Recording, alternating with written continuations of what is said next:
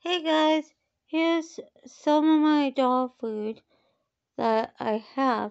Then I have more in my closet of my American Girl dog, dog food and Baby Alive dog food. And in here, this is a little lunch, little lunch box for your dolls. Look how cute that is. And in here,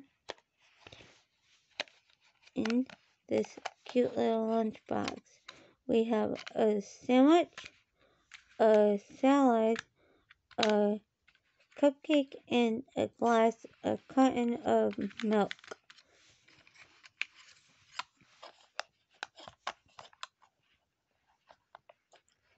wonder where they got this little lunchbox from because I sure need more lunchboxes for my dogs.